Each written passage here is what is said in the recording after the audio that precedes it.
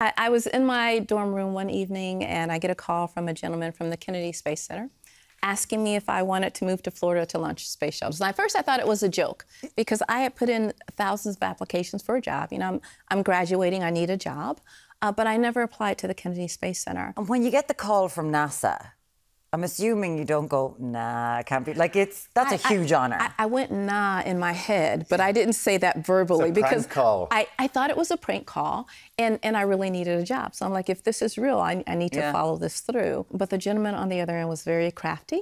He gave me a, a free trip, all expense paid trip to Florida.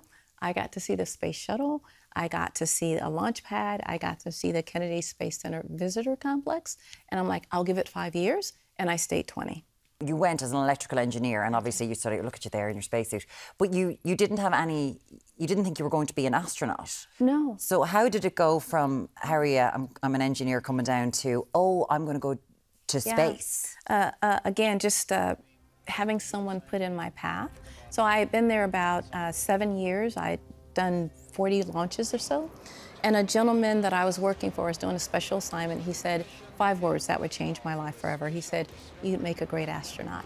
And I took it as a compliment. He took it as an action item. What sort of speed are you going when you're up there? We are 17,500 miles per hour if you want it in uh, 24,000 uh, uh, kilometers per hour. Kilometers per- So, so oh, another a great fact. So we go around the world one time every 90 minutes. So in that 90 minutes, we get to see one sunrise and one sunset. So if you were just to plaster your face against the window for a full day, you get to see 16 sunrises and 16 sunsets. How does your perspective change being oh. above Yeah. the Earth?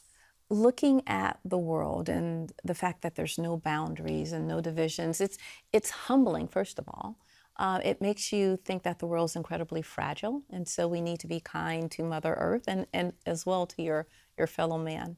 So it, it really it gave me a different perspective, uh, and I, I just wanted it to be nicer to everybody.